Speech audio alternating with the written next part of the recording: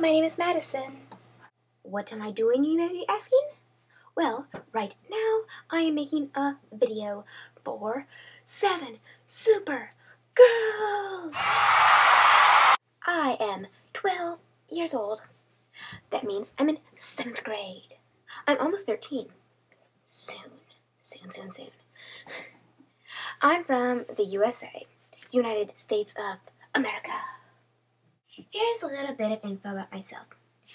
I am the oldest of seven kids, soon to be eight. Lots of responsibility. I want to be an actress so badly. So, that's why one of the reasons why I want to be a part of Seven Supergirls because lots of times they do little skits and stuff like that on there, so I can really show off what I can do.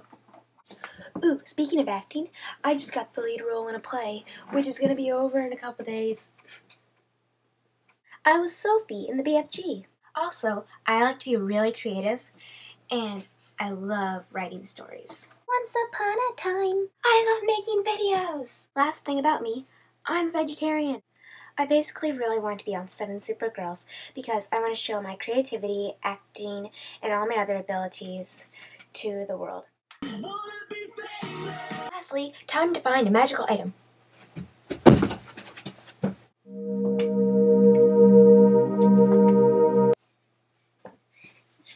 It's a magical flying horse. I've got to catch it. Where'd it go?